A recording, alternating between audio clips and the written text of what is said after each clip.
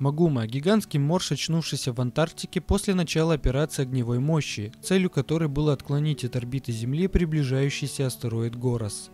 Название этого монстра созвучно со словом «магма» и отсылает к первому появлению Магумы посреди разгорающегося пламени.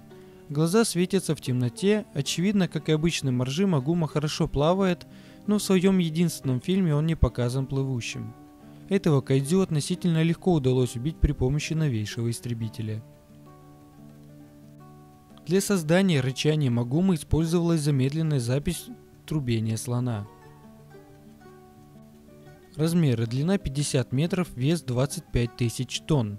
Магума появилась всего в одном фильме периода Сева «Горос» 1962 года.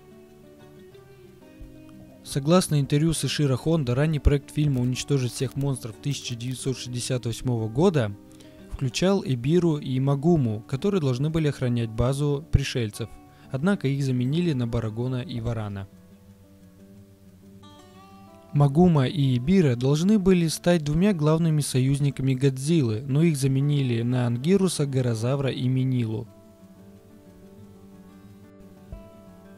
Магума был удален из американской версии Гарата от Бренка Pictures. По сообщениям продюсеры американской версии подумали, что Магума был слишком смешным, даже издевательски называли его Уолли Морш, и полагали, что он испортит серьезный тон фильма.